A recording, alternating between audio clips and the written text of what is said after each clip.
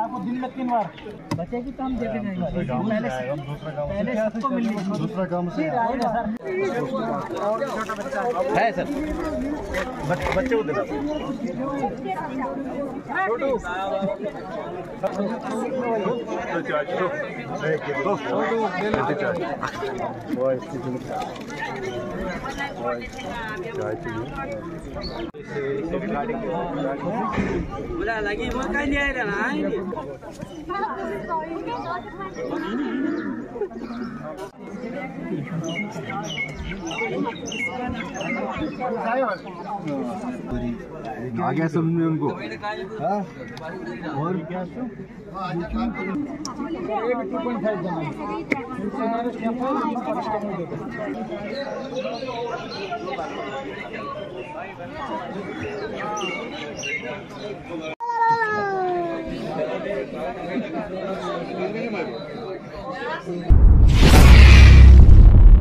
सरकार के सौजन्य से चौदह बटालियन सीआरपीएफ ने ये तरपड़पुरा में मेडिकल कैंप ऑर्गेनाइज किया है।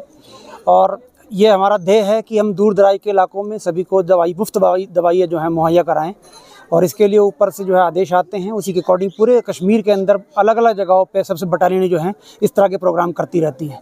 इसमें है कि आम गरीब आदमी को मुफ़्त में दवाई मिले उसको जो है शहर में जाना ना पड़े और उसको जो है घर पे ही ये सुविधाएँ डॉक्टर की सुविधाएँ और मुफ़्त दवाइयों की सुविधाएँ मिलती रहे। शो, शोपियान के और दूर दराज इलाकों में हम लोग इस तरह के कैंप ऑर्गेनाइज पहले भी हमने किए हैं और आगे भी हम करते रहेंगे। इस तरह के लिए जो है सीआरपीएफ जो है आम आदमी से जुड़ना चाहती है और पब्लिक पब्लिक रिलेशंस जो है, पुलिस पब्लिक रिलेशन बनाने के लिए जो है इस तरह के कैंप हम आर भी, आगे भी ऑर्गेनाइज करते रहेंगे।